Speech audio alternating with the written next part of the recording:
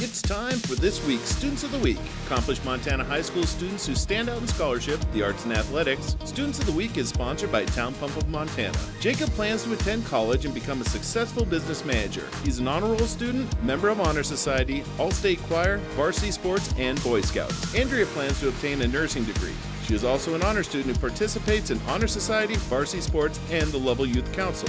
Watch each Tuesday night at 10 p.m. for Students of the Week, sponsored by Town Pump of Montana.